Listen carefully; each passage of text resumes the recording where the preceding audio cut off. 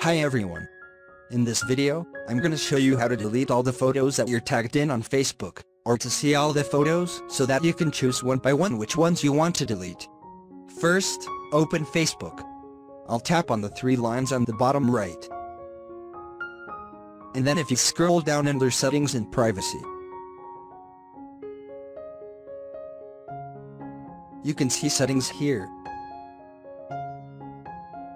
And then again scroll down, and you will see activity log here.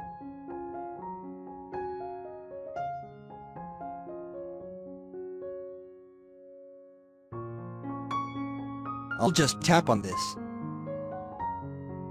This gives you a laundry list of all the activity that you've had on Facebook. Go to manage your posts, tap on activity you're tagged in. Tap on photos you're tagged in. And this will give you all the photos that you're tagged in on Facebook. So you can scroll through that list, and they choose one random. And you tap the little three lines. You can hide it from your timeline, report, or remove the tag. You can see the person's profile. But I just want to remove the tag you can just go in here, you can just tap a remove tag. If you want to delete photo you're tagged in on Facebook, tick all box. Then tap on remove tags.